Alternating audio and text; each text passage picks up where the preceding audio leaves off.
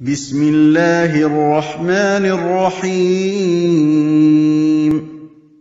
والعصر إن الإنسان لفي خسر إلا الذين آمنوا وعملوا الصالحات وتواصوا بالحق وتواصوا بالصبر اللهم صل على سيدنا محمد النبي الأمي وعلى آله وصحبه وسلم.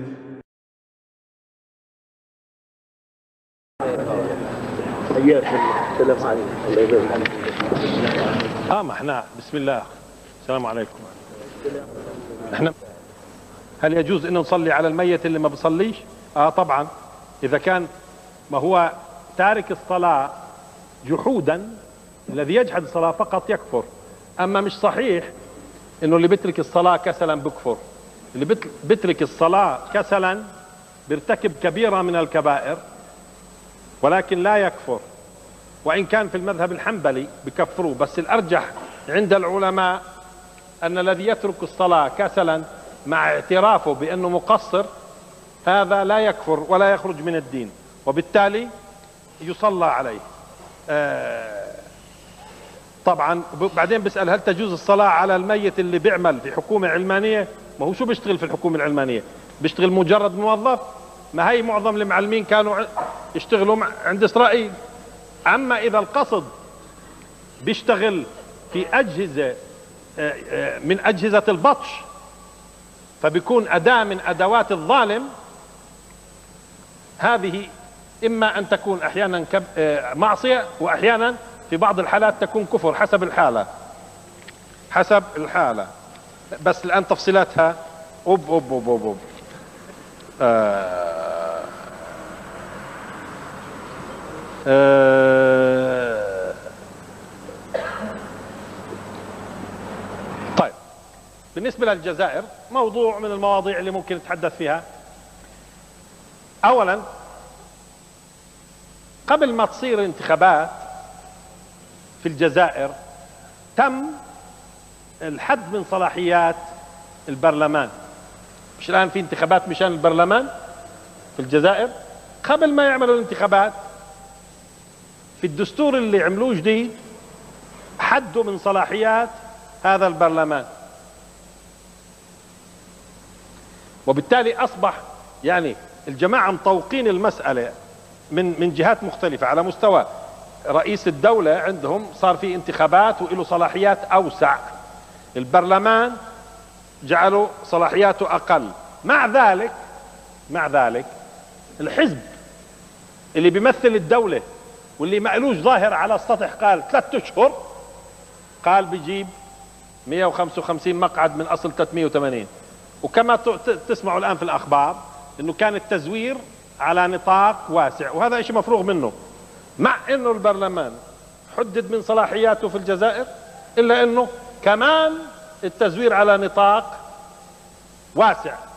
هذه اللعبة لعبة البرلمان في الجزائر أو في غير الجزائر هذه الحكومات العلمانية الحكومات العلمانية المتسلطة على رقاب الناس في أكثر من بلد عربي وإسلامي بتحاول تستخدم الانتخابات كوسيلة لإطالة عمرها أما هم يتلاعبون بالأمور وفق مزاجهم. حسين كمثال. لما شاف إنه الإسلاميين بيفوزوا في الانتخابات طلع ببدعة الصوت الواحد اللي اقترحتها عليه وقتها أمريكا. أمريكا اقترحت عليه فكرة الصوت الواحد. ومع ذلك مع ذلك بيحاول يلتف بطريقة أو بأخرى. واخرها آخرها قانون الصحافة الجديد اللي بده يكمم أفواه الناس بحيث ما تستطيع أن تكتب لا عن الملك ولا عن الوزراء ولا عن المخابرات ولا عن فساد الدولة وإيش بتعمل ولا عن البيع الأراضي في الأردن لإسرائيل. بفصلوا القوانين زي ما بدهم. ولذلك في الجزائر على فكرة مش راح يختلف شيء بل بالعكس راح تزيد الأعمال العسكرية عنف. بعد الانتخابات مش راح تحل هذه الانتخابات إشي اطلاقا. مش بس مش راح تحل راح تكون سبب لزيادة الأعمال العسكرية. ومنها مثلا جبهة الإنقاذ من زمان ما أعلنتش عن عملية عسكرية جبهة الإنقاذ. اليوم أعلنت عن عملية عسكرية إنه نفذت عشية الانتخابات. وقتلت مجموعة من الجنود وقتل من واستشهد منهم ثلاثة. واضح؟ فاذا آه، آه، آه، هذه لعبة الانتخابات بفصلوها على قدهم بس. ثم التزوير أنتم سمعتوا الآن إنه التزوير على قدم وساق كان في الجزائر. لذلك مش راح يكون لهذه الانتخابات قيمة. الان لاحظت أمريكا أنا لفت انتباهي في تعقيب أمريكا على انتخابات الجزائر. شو قالت؟ قال حيت الشعب الجزائري على شجاعته خصوصا النساء. قال خصوصا النساء. طب ما هن النساء هن اللي انتخبن جبهة الإنقاذ. ما هن في الجزائر طول عمرهم بينتخبن النسوان. ولما النساء أدلين بأصواتهم انتخبن جبهة الإنقاذ الإسلامية. وهل كانت بتحييهن أمريكا ليش؟ شوف بيحاولوا يدخلوا عن طريق المرأة. يعني بدهم يعمل. بتصوروا هم إنه نسواننا راح يصيرن داعرات مثل كثير من الأمريكيات. شو هي المرأة الأمريكية ليش؟ شو هي المرأة لا يكون المرأة الأمريكية بتعرف آه، إشي اسمه عفة. لا يكون المرأة الأمريكية بتخونش جوزها. بدهم نسواننا يصبحن داعرات. مثل الغربيات اللي أنتم بتعرفوا إنه العفة عند الغربيات ما ندر. نسائنا مش راح يكونن داعرات كالنساء الأمريكيات لما بتيجي أمريكا تقول نحيي الجزائريات اللي انهن تحدين قالوا راح ننتخبن. ها؟ طب بالعكس الجزائريات والجزائريين إذا بينتخبوا بحرية هم انتخبوا جبهة الإنقاذ الإسلامية. واللي بيحصل الآن في الجزائر هو مؤامرة تدور بين آه، آه، الحكومة وأمريكا وفرنسا على فكرة. في صراع برضه بين فرنسا وأمريكا في داخل الجزائر. على أي حال باختصار ما أظن ما أظن إنه يتغير شيء في الجزائر إلا زيادة الأعمال العسكرية بعد هذه الانتخابات. هذول جماعة جواسيس مش ممكن ينزلوا عن السلطة إلا بالقوة سواء كان في الأردن سواء كان في الجزائر سواء كان في تونس سواء كان في مصر. جواسيس ما بتسقط عن السلطة بسهولة وبتلونوا بتلونوا وبيحاولوا يخدعونا بشكليات. بيحاولوا يخدعونا بشكليات. شو؟ ها؟ لأنه في أسئلة كثير تكررت. آه, آه هارون بالنسبة للي سأل سؤال قوله يا ابن أم. آه آه هارون كان أخو موسى من أمه. هارون عليه السلام كان أخو موسى عليه السلام من أمه. آه طيب قلنا الأسئلة اللي وما بصيرش فعلا نمررها بدون حديث عن حرب حزيران. قضية حرب حزيران قضية طويلة ولكن خلينا ابتداء نمسك مصر بعدين شوية الأردن وبعدين شوية سوريا بالنسبة لحرب حزيران. اولا لعلمكم إنه العسكر في مصر في هيئة هيئة العمليات الحربية هيئة العمليات الحربية في مصر سنة 1966 قدمت دراسة للحكومة المصرية بتقولها إياكم أنكم تتورطوا بحرب من هون لسنين. هيئة العمليات الحربية في مصر سنة 66 عملت دراسة على القوة الإسرائيلية والقوة المصرية وقدمت نصيحة للحكومة المصرية بتقول لهم إياكم إنكم تخوضوا حرب لمدة سنين مع إسرائيل. طيب الغريب إنه بعد أقل من سنة بعد أقل من سنة بنجد الحكومة المصرية بتسحب بتأمر قوات الرقابة الدولية في سينا ما هو كان في آه، في سينا قوات دولية بتحجز بين اليهود والمصريين. أمرت الحكومة المصرية آه، هذه القوات بالانسحاب. هي أول أول نقطة خطيرة. ليش؟ معناته مقبلين على حرب. العسكر مش مستوعبين. إحنا مقدمين للحكومة المصرية إياكم تتورطوا في حرب. رئيس مصر في وقتها شو كان يقول؟ إسرائيل لن تخوض حرب. العسكريين يقولوا إيش هذا؟ هذه مقامرة. تلعب نلعب قمار إحنا؟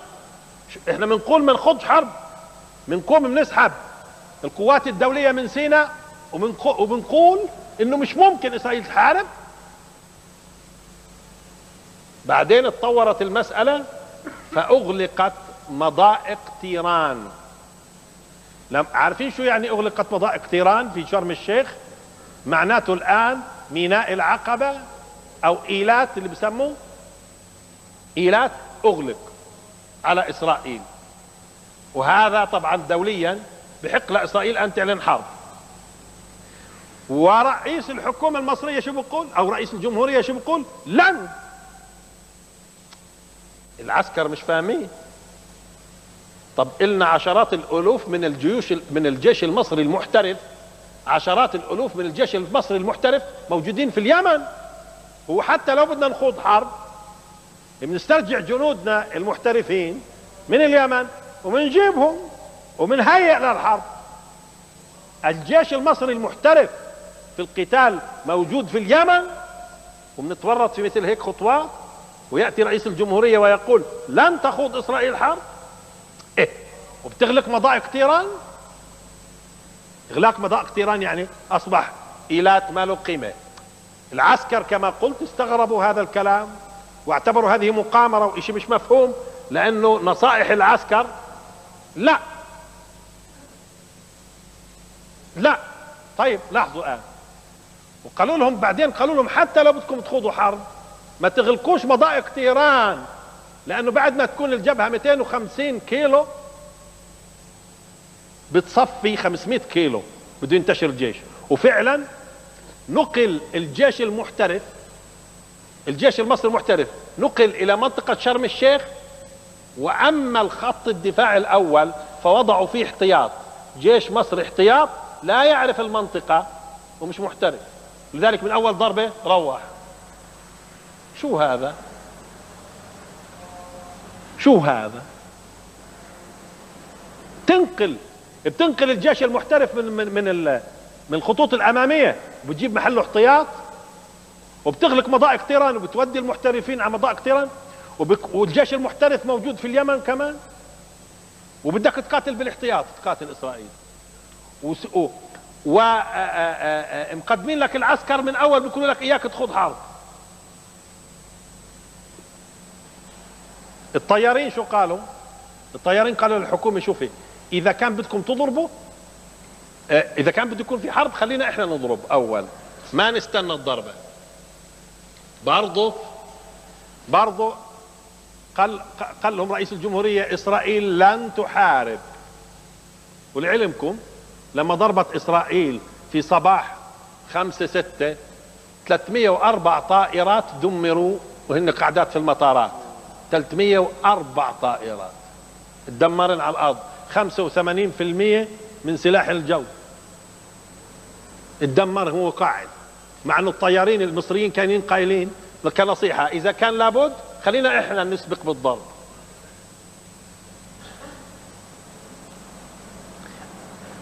أما المخابرات المصرية اللي كانت تطارد وراء الإسلاميين على فكرة في الستة وستين أعدموا إسلاميين وفي الستة وستين في ليلة واحدة 17 ألف إسلامي اعتقلوا في ليلة واحدة. 17 ألف في ليلة واحدة.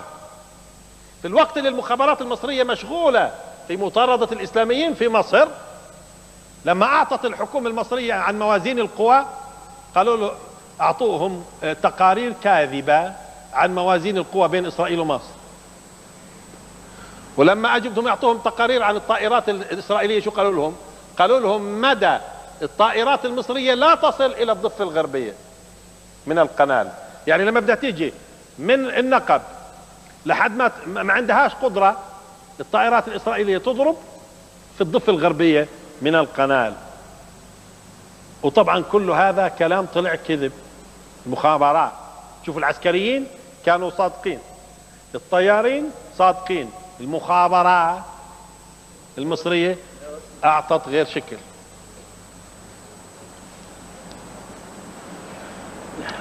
وبالتالي الآن هذه مسألة طويلة عريضة نخوض في 67 وشو قصتها. أما حسين فكان مختلف مع عبد الناصر. اختلاف طويل عريض. عارفين شو عمل قبل 67 ومش قالوا إنه الضربة مفاجئة؟ قيادة الضفة الغربية قيادة الضفة الغربية كانت في بي في بيت إيل هنا. قيادة الضفة الغربية في بيت إيل. اللي اتخذتها إسرائيل برضه قيادة الضفة الغربية في بيت إيل. سحبوا عيالهم وسحبوا مواشيهم ولعلمكم كانت تيجي عشرات الألوف بل مئات أحيانا من الأغنام والجمال ترعى في الشمال. تاكل زرع الناس. تاكل زرع الناس. مرات قبل ما يكونوا الناس حاصدين ينزلوا غنماتهم. عكف الفايز والجماعة هذول ينزلوا غنماتهم ويأكلوا يأكلوا آه، آه، مزروعات الناس في الشمال. وكنت تجد تجد ال ال ال ال الجمال بالمئات والآلاف. والغنم كذلك. سحبوا الغنم وسحبوا الجمال قبل لأنه بشهر ستة مش أول ستة مش وقتها تسحب إجمالك والغنمات. ها؟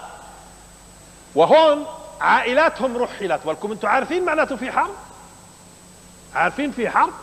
ورحلوا العائلات وجابوا جابوا المتطوعين حطوهم في الخط الأمامي. متطوعين يعني بتخنوش شيء قالوا صاروا يقولوا للناس اللي بده يتطوع وراحت تسجل هالناس. تسجل هالناس مشان تتطوع قال. بقيادة حسين. ماشي؟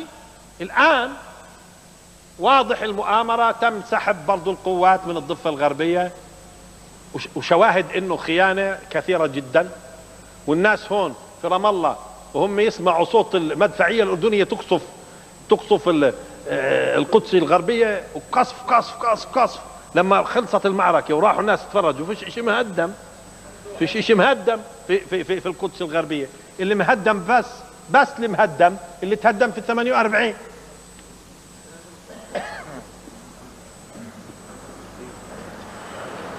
أما سوريا أو قبل سوريا بشوي شوفوا مش بالفور أعطى وعده سنة 1917 مش بالفور أعطى وعده 1917 1918 فيصل اللي هو أخو عبد الله يعني أخو سيده الحسين أعطى وعد لإسرائيل باليهود لوطن قومي في فلسطين. وعد بالفور ال 17 أنتم بس بتلوموا بالفور ها؟ البريطاني. سنة 1918 نص نص وعد فيصل اللي هو أخو عبد الله عبد الله سيد الملك. عبد الله سيد الملك.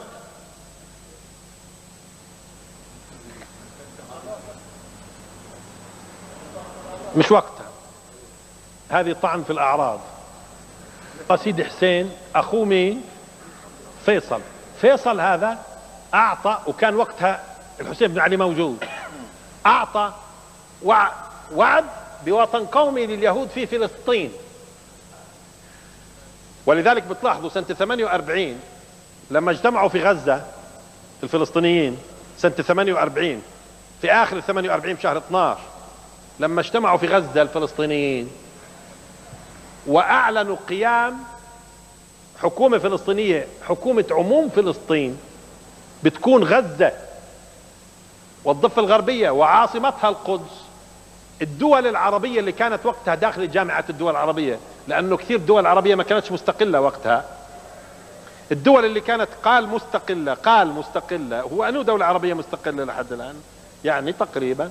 مش هيك المستقلة من الدول العربية اعترفت اعترفت بحكومة عموم فلسطين وأصبحت حكوم حكومة عموم فلسطين عضو في جامعة الدول العربية. عارفين أنو اللي رفض؟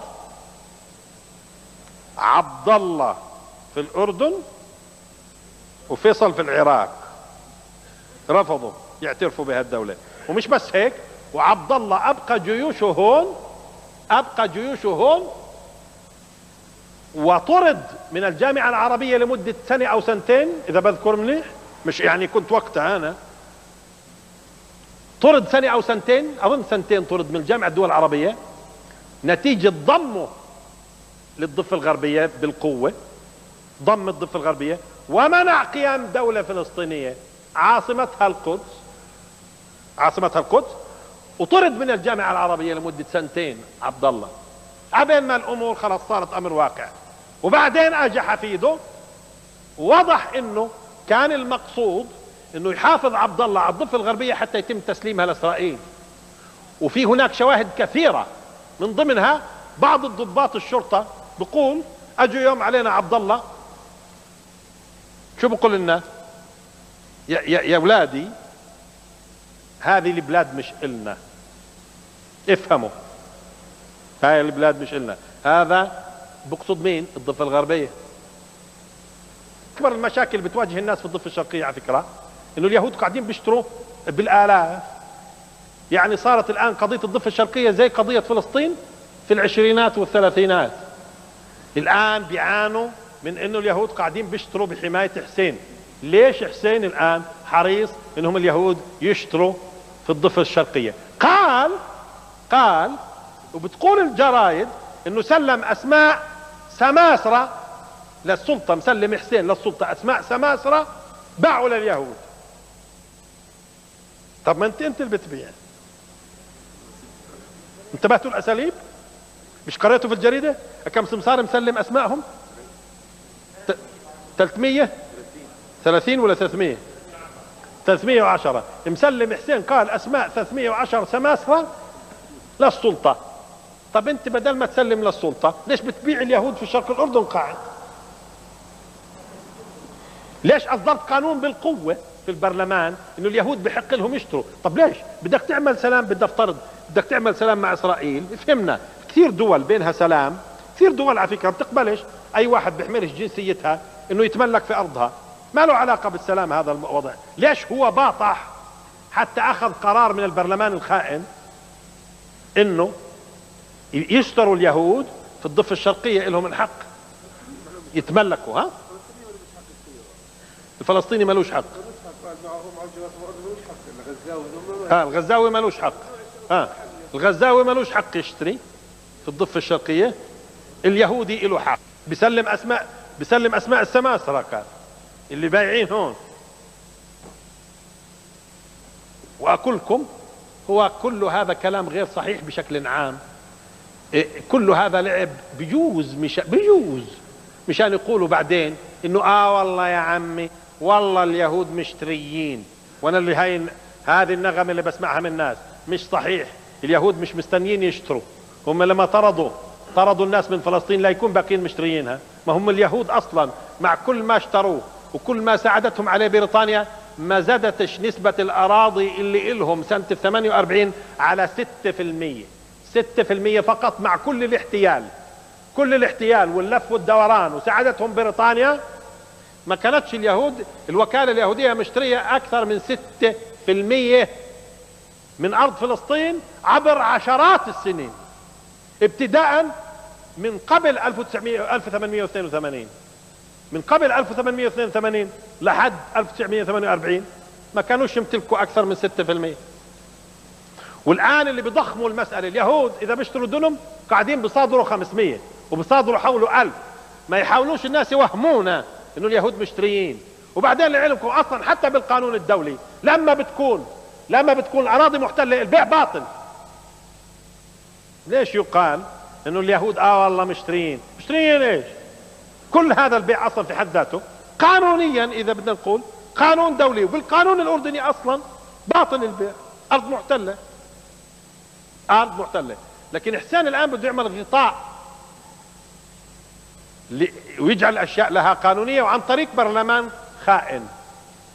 وهم لازم يأخذوا أسماء لازم تنعرف أسماء اللي في البرلمان وصوتوا على هذا القانون. هؤلاء الخونه لازم ينعرفوا للشعب. أنا مستغرب ليش مش موزعة أسماء أعضاء البرلمان الأردني اللي صوتوا على هذا القانون بالإيجاب حتى الشعب يعرفهم مين هم هدول الخونة اللي باعوا بدهم يبيعوا كمان الضفة الشرقية.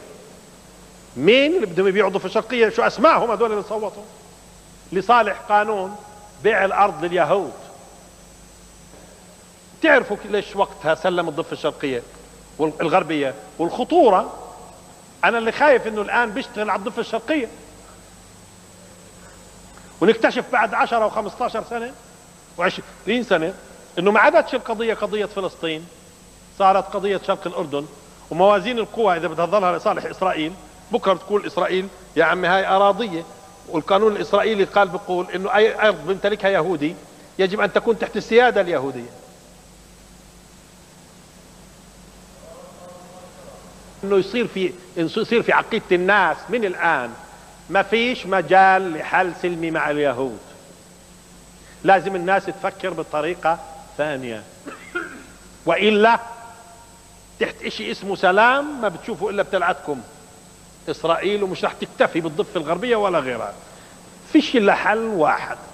والحل الواحد إذا كان هذا إذا كان هذا الحل بيكون في ضمير الأمة وتتربى الناس عليه ثقوا تماما إسرائيل لن تبقى. أخطر شيء في السلام إنه إسرائيل تقفز في الخ... تقفز خارج. لما ما كانش في سلام كانت إسرائيل محاصرة. بس الآن عيوننا الآن وقلوبنا صارت على شرق الأردن. شفتوا السلام محلاه؟ للي كانوا زينوا لكم السلام. شفتوا السلام محلاه؟ بدل ما كان همنا أراضي محتلة هون صار همنا الآن شرق الأردن. بكرة بصير همنا أراضي مكة والمدينة وهمنا العراق. طالما هالجواسيس موجودة. طالما الجواسيس موجودة وبتلعبوا في الناس. على كل هو صراع لابد من توعية الأمة. وفي النهاية شوفوا برضو ما تكونوش يأسين. خليني أعطيكم فكرة. في سوريا برضو الجيش السوري لم يكن مستعد. ونتيجة عدم استعداد قال الجيش السوري أفضل فرق العسكرية اللي كانت في الجولان تم سحبها ولم تقاتل. حفظا لها. يعني زي ما صار مع الشيشان بالضبط. طب الشيشان اللي عدد سكانها قد الضفة الغربية. الشيشان اللي عدد سكانها قد الضفة الغربية أو أكثر شوي. مش هيك هدول الناس قاتلتهم دولة عظمى. دولة عظمى. وشوفوا أكم مرة قديش قعدت قديش قعدت لا قدرت تدخل العاصمة وأكم مرة طلعت من العاصمة ودخلتها وأكم مرة طلعت من العاصمة ودخلتها. والآن والآن إلهم حاكم مستقل تقريبا. إحنا جيوش عربية كانت متبجحة قال خلال ساعات بتكون مروحة. خلال ساعات بتكون مروحة كلها على الجبهات كلها. شو هالصدفة هاي؟ طب والله خليكم زي الشيشان وروسيا يعني موازين القوى. خليكم بموازين القوى زي الشيشان. طب طيب ممتاز. قدموا دماء. أعطونا كشف القتلى مشان نشوف قديش يعني دافعتوا عنها البلاد. إحنا بنسمع في معارك ما شاء الله عنها العراق وهي تقاتل إيران وهي تقاتل إيران في معركة واحدة كنت تسمع عشرة وعشرين وثلاثين وأربعين وخمسين ألف قتيل. اللي انقتلوا في مصر ماتوا أكثرهم في الصحراء وهم هاربين لا لا لا أنا بدي وهم صامدين. مش اللي انقتلوا وهم هاربين وهم صامدين قديش. لإيش هذه الجيوش؟ هذه الجيوش فقط موجودة لقمع الشعوب لأنهم جواسيس. وما لم نرسخ في أذهان الناس أن هذول جواسيس من ظلنا نخدع. من ظلنا نخدع ومن ظلنا نخدع. وخديعة وكمان وراء خديعة. مصر قال كانوا متأكدين إنها بتهاجمش إسرائيل. ولما دخلنا الكويت قال يعني السفيرة ال ال الأمريكية قالت بهمش تدخلوا. شو هذا؟ هو هو بنظل كمان نخدع بهالطريقه والمهم السذج اللي بضلهم دائما يبرروا يبرروا للقيادات. طب ما هي قيادات ما اختارتها الأمة؟ ومتسلطة على رقاب الأمة. وشبهات الجاسوسية قوية. ومدافع عنهم ليش؟ مدافع عنهم ليش؟ طيب شوفوا قبل 67 مصر كانت تذبح الإسلاميين وإعدامات في 66 كانت قمة وفي الليلة واحدة 17000 هذا أنا سامعها وأنا صغير على لسان رئيس الدولة. بيقول اعتقلت الليلة 17000 والشعوب تصفق. والشعوب تصفق. كانوا يتسلطوا على ركابنا. يتسلطوا على ركابنا باسم, باسم تحرير فلسطين. يتسلطوا على ركابنا لأنه في حرب مع إسرائيل جاي. عارفين اليوم بتسلطوا على ركابنا إيش؟ باسم السلام. في الأول بتسلطوا على رقابنا لأنهم بدهم يحرروا فلسطين. واستنوا شوي عبين ما نكوى والجماعة بمرنوا عضلاتهم وما بصيرش حدا يكون ضدهم. الدكتاتورية لازم تكون هي آه مشان يحرروا. فكانوا الدكتاتوريات مبررها إيش؟ التحرير والحرب. هل كانت الدكتاتوريات شو مبررها؟ السلام. ضد أعداء السلام. لازم يقمعوا الشعوب لأنها بدهاش سلام. هناك لازم يقمعوا الشعوب مشان مشان نعرف نحارب كأنه اللي بيقمع شعبه بيعرف يحارب. اللي بيقمع شعبه كأنه بيعرف يحارب. والآن في السلام برضه إيه السلام؟ بيقمعوا الشعوب باسم السلام. جواسيس. هذه اللي لازم تنعرف والناس تحسب حسابات على هذا الاساس أنا متأكد من الخلاص. أنا شخصيا متأكد من الخلاص. وهذه وهذه الجواسيس أمارات الخلاص. لكن الله سبحانه وتعالى يبتليكم حتى تعرفوا الحق شو الحق؟ أما الخلاص قادم هذا متأكد منه. بس برضه ما يكونوش الناس أغبياء ويفهموا الحقيقة. الآن أعطيكم برضه مش بمصر خذوا سوريا. مجلة جيش الشعب شوف الأسماء مجلة جيش الشعب. هو جيش مين؟ جيش الشعب. هو جيش للشعب بس يعني. آه. السورية عارفين شو نشرت تقول في بعض آه، في بعض آه، صفحاتها؟ قالت إنه الله الله مات الله مات وأصبح في المتحف. الله ميت ومحطوط في المتحف انتهى. وإنه الاشتراكية العلمية هي اللي بدها تحرر واللي بدها تجعل الناس يتقدموا. وا وا وا وا. هذا قبل 67 بشوي. بمنوا الناس بإيش؟ بالتحرير وبمستقبل واعد ها؟ مات الله وحطوه في المتحف التافهين. وفي أول رصاصة في أول رصاصة طلعوا حدا ما في حدا في الجولان. شفتوا الكلاب؟ في أول رصاصة فيش حدا في الجولان. تتبجحوا على الله ولكم ولكم دبروا حالكم مع البشر بعدين بنيجي على قضية الله. تعرفوا لو انتصروا هذول الناس. هذول لو انتصروا شو بيعملوا في البشر؟ شو بيعملوا في بيعود فرعون وأكثر من فرعون. إذا كانوا هم منهزمين في سوريا وفي الأردن وفي مصر وهم منهزمين. وأبطال هزائم. والله أكبر ما حدا بتسمع وفراعنة وما شاء الله. هذول هم منهزمين. هذول كيف لو انتصروا هذول؟ أنا أتصور لو انتصروا لأبادوا الإسلام إبادة. ونفوا من الأرض. لو انتصروا. لأنهم هم أصلا جواسيس جايين لها الشغلة. وجودهم استمراره من أجل هذا. طيب شوفوا الآن. عمركم سمعتوا بمجلة الأزهر؟ هذه مجلة الأزهر مش مش مش مجلة دينية؟ مجلة دينية. وفي الزمانات لما قامت وحدة بين ثلاثية بين مصر وهذا سبق قلت لكم اياه أظن.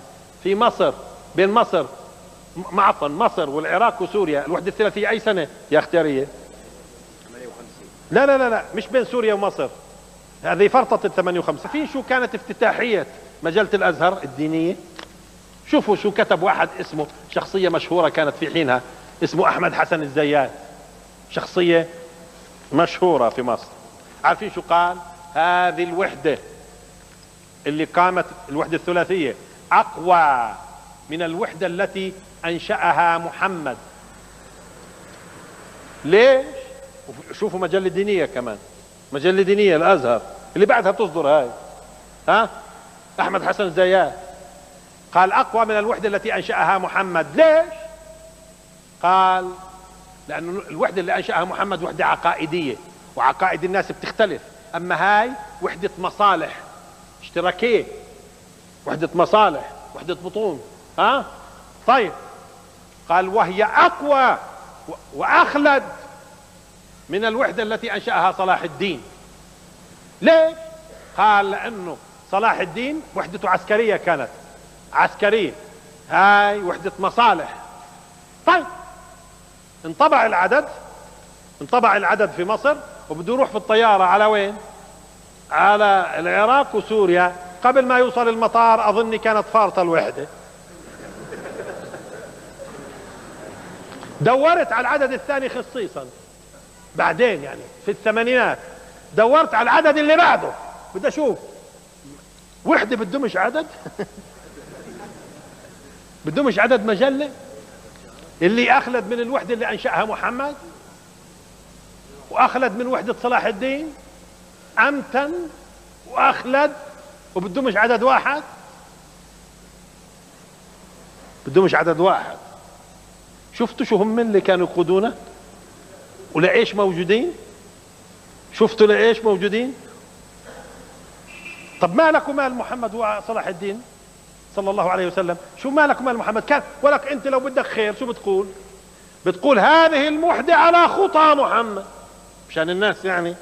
هذه الوحدة على خطى صلاح الدين. أما لا ما هم موجودين غير هيك. وفي من فراخهم في من فراخهم على فكرة موجودين لحد الآن. من فراخهم فراخ أحمد حسن الزيات وما شابه ذلك موجودين لحد الآن. ولا يزالوا بيحكموا هنا وهنا. فكرتوا في احتلال فلسطين وسبق احتلها يعني قبلكم الصليبيين وانهزموا انهزموا الصليبيين ها؟ وخرجوا منها. والصليبيين طبعا كانوا في حالة آه، آه، ما كانوش في مش ضعاف وقتها. كيف بتأمنوا المستقبل؟ بقول هون أخونا إنه وقتها بن غوريون مجاوب قال لم يحتل الصليبيون مدينة إيلات. شو يعني؟ مدينة إيلات تجعلهم آه، يصمدوا يعني في آه، وإذا سكرها وإذا سكرتها مصر في التيران وشرم الشيخ. المباح إذا سافر الانسان سفر مباح مباح بتكون صلاة الجمعة بالنسبة له مش فريضة. إذا سافر الإنسان سفر مباح بتكون آه، صلاة الجمعة مش فريضة على المسافر. مباح. يعني مش سافر بجوز ناس مسافرين مشان يسرقوا. هذا سفر حرام. مش هيك؟ إحنا بنقول إذا كان السفر مباح فصلاة الجمعة وقتها لا تكون لا تكون مفروضة. هذه الوصية اللي اللي فيها بسم الله الرحمن الرحيم. هذه الوصية من المدينة المنورة من الشيخ أحمد حامل مفاتيح حرم الرسول صلى الله عليه وسلم. إلى آخره. هاي بذكر بذكر كنا نقراها وإحنا صغار. بس زمان بقاش في تصوير كانوا ينسخوها الناس. بقى تتكلف زمان أكثر. انسخ ولا تنسخ. المهم. آه وطبعا في الأخير مشان يعني أذكياء اللي عاملينها لاحظوا إلها 20 30 40 سنة أو أكثر على فكرة. هاي الورقة بتدور شو اللي بخليها تدور على ما يبدو اللي فيها إذا ما بتنسخها بصير لك وبصير لكش. أنا طول عمري على فكرة وأنا أمزعها. وصحتي كانت كل مرة تتحسن. باز ابن باز مفتي السعودية بذكر قرأت له كتيب صغير كتيب حول هاي الوصية. يبدو إنهم أدركوا إنه هاي الوصية ممتدة يعني. خصوصا الناس بتخاف بقول لك وأنا مالي؟ أنا بنسخ وما بقيم عن ظهري. أنا بنسخ وبقيم عن ظهري. ناسي إنه بيكون نسخ إيش؟ انه إنه روج الباطل. إحنا في الشريعة الإسلامية لا نقبل الكذب من أجل ترويج الحق. من أجل إنك تروج الحق تكذب لا يجوز شرعا. ولذلك زمان القصاصين اللي كانوا يقعدوا في المساجد ويقصوا عن الناس لما العلماء كانوا يقولون لهم أنتم بتكذبوا على رسول الله بتجيبوا قصص وبتقولوا عن رسول الله. فمن جهلهم شو كانوا يقولوا؟ كانوا يقولوا إحنا مش بنكذب عليه إحنا بنكذب له. نكذب له مش بنكذب عليه. الإسلام لا يحتاج إلى كذب حتى ننشره بين الناس.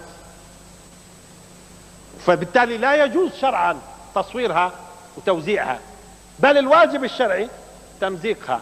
الآن ابن باز أصدر فيها كتيب ابن باز أصدر فيها كتيب بيقول فيها من ضمن طبعا بيحرم تداولها وبيحرم كتابتها أو نشرها وبقول إنه أصلا ما فيش واحد كان اسمه الشيخ أحمد موجود في الحرم المكي وحامل المفاتيح. ما فيش. يعني من أصله واللي بيتكلم ابن البلد. يعني نظروا قالوا وين هالشيخ أحمد هذا اللي عندنا اللي اللي شايف الرسول حامل مفاتيح الكعبة؟ هاتوا هاتوا السجلات. في الشيخ أحمد؟ اثرته ما في. واضح؟ فما بجوزش اطلاقا إنه آه، آه، آه، نتداول هذه المسألة. طيب. الماسونية والروتري. سبق قلنا لكم إنه الماسونية باختصار عبارة عن تنظيمات سرية صهيونية في حقيقتها تقصد أن تكون إسرائيل توجد إسرائيل ويبنى الهيكل وأن يصبح هناك سيطرة يهودية على العالم. الماسونية هاي إلها واجهات من ضمن هذه الواجهات الروتري واللايونز. نوادي الروتري. طب ليش الحديث عن نوادي الروتري الآن؟ يا محترمين بدأ في رام الله ينوجد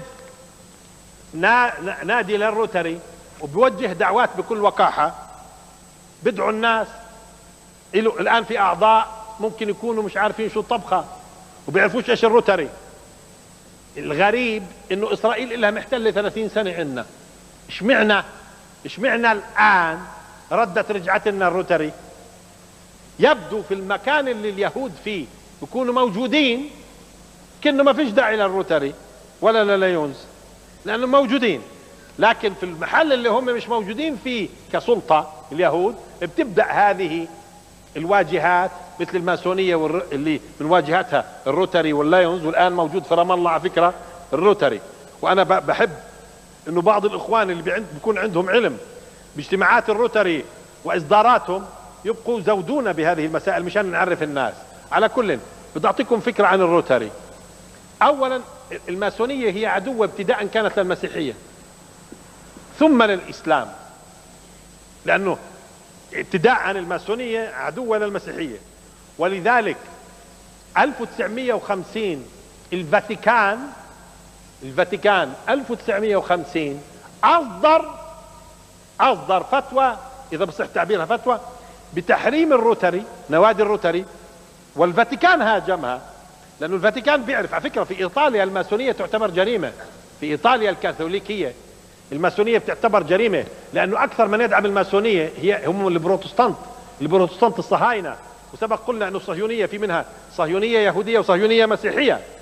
أما الكاثوليك والأرثوذكس فهم على نقيض الماسونية لأنه أصلا الماسونية موجودة كانت لاجتثاث المسيحية لاجتثاث المسيحية ابتداء فلذلك في بلد زي إيطاليا بيعتبر الماسونية جريمة. وسنة 1950 الفاتيكان أصدر ضد الروتري بالذات. نوادي الروتري أصدر فتاوى الفاتيكان ضد الروتري. أما في بلادنا هنا في فتاوى صدرت من علماء بتحريم الانتماء وكشف حقيقة هذه النوادي الروتري واللايونز وموجود عندنا الآن في رام الله روتري. ها؟ من اللي أفتوا؟ الشيخ الشيخ الشعراوي بحرمتها والأستاذ القرضاوي والشيخ محمد الغزالي أفتوا بحرمة الانتماء لهذه النوادي. أما المجامع الفقهية الإسلامية فسنة 1977 سنة 1977 مجمع فقهي اجتمع في مكة أصدر فتوى بحق الماسونية والنوادي اللي بتنبثق عنها. وكان من ضمن الفتوى قضيتين بلفتوا الانتباه إنه اعتبرت الماسونية أخطر دعوة هدامة موجودة. هذا في في قرار المجمع الفقهي المنعقد بمكة 1977 إنه الماسونية أخطر دعوة هدامة موجودة الماسونية. اثنين قالوا قال قال قالت الفتوى فتوى المجمع بكفر بكفر كل من ينتمي إلى الماسونية طبعا أو ما ينبثق عنها زي النوادي بكفر من ينتمي إلى الماسونية وهو يعلم حقيقتها. بكفر من ينتمي إلى الماسونية وهو يعلم حقيقتها.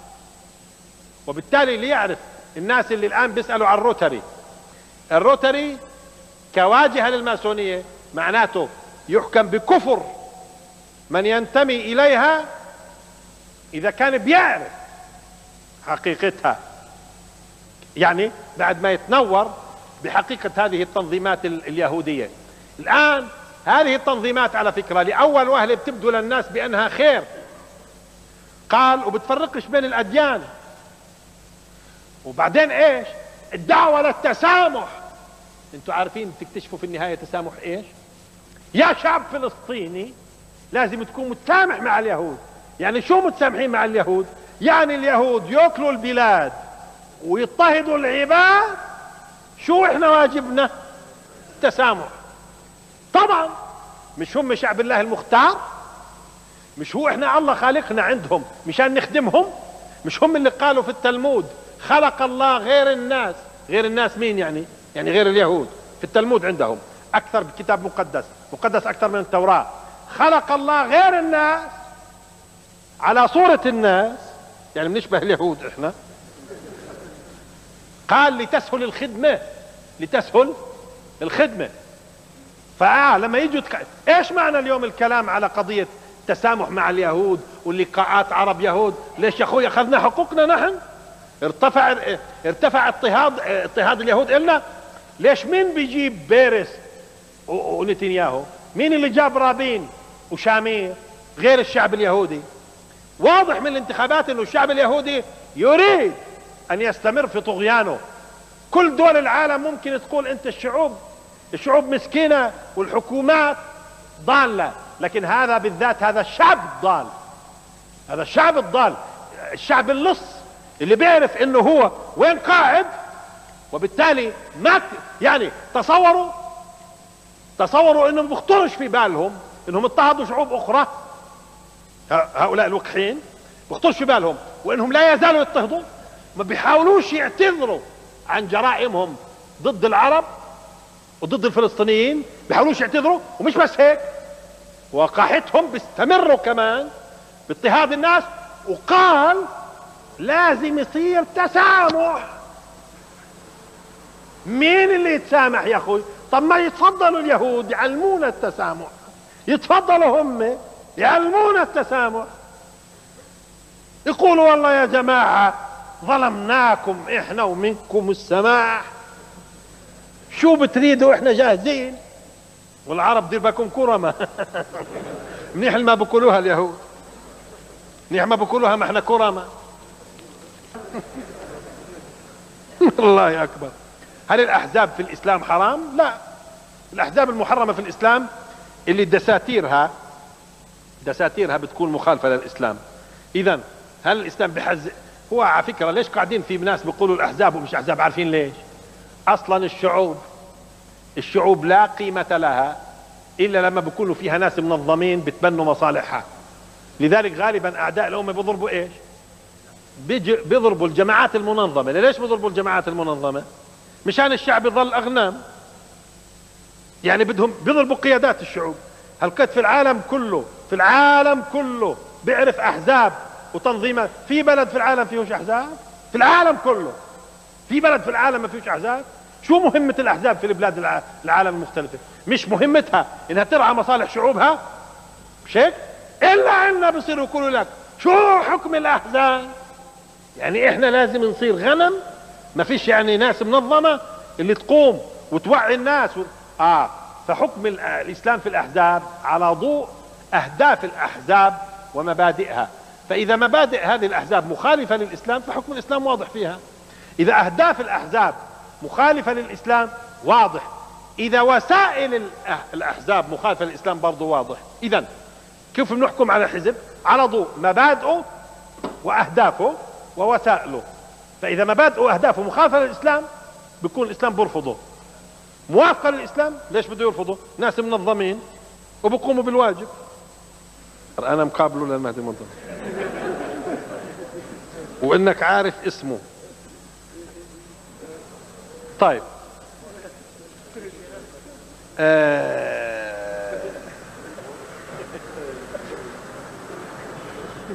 أو قبل طب ماشي شوفوا. أنا شخصيا من خلال دراستي لأحاديث المهدي وتقصيتها ودرست عدة كتب في المهدي واحاديث المهدي اللي بت... اللي تقريبا بت آه... بتيجي خمسين حديث فيها الصحيح وفيها الضعيف. فيها الصحيح وفيها الضعيف. آه... أنا عندي اعتقاد إنه المهدي مطول. مطول. مش هذا وقت المهدي. المهدي يمثل قمة الصعود الإسلامي. يمثل قمة الصعود الإسلامي. ويأتي بعد موت خليفة. فالإسلام. زوال إسرائيل ما له علاقة بالمهدي. تزول إسرائيل وتقوم خلافات إسلامية خليفة أو أكثر حسب الموقع. مش هيك الآن ولكن أنا شخصيا أشعر أنه المهدي مطول. لكن يتوج يتوج حكم الإسلام في العالم. أنتم الآن بتعيشوا في اعتقادي من خلال دراستي لأحاديث الرسول صلى الله عليه وسلم والقرآن الكريم. إحنا بنعيش مرحلة النهوض في بناء حضارة إسلامية طويلة الأمد. أنتم الآن على فكرة بتصعدوا مش ممكن تنزلوا. كل اللي بيفسدوا هذول الفئران اللي بتفسد في بلادنا الفئران هاي مش راح تأثر اطلاقا مش معناته ما نقاومهاش. الواحد بيقاوم الفئران. صح كان الواحد مطمئن إنه الفار مش راح يعمل إشي بس بتقدر تصبر أنت على وجود الفار. إلا يعني يغلس عليك. فالإسلام صاعد صاعد لا محالة. وستقوم كيانات إسلامية وستقوم خلافة بغض النظر عن الاسم المهم الجوهر مش الاسم ها؟ لكن قمة هذا الصعود المهدي قمة الصعود. ويحل ويحل الإشكال مع الغرب ويعجز عن حل الإشكال مع الشرق. وتقترب القيامة. اذا هو من علامات القيامة المهدي.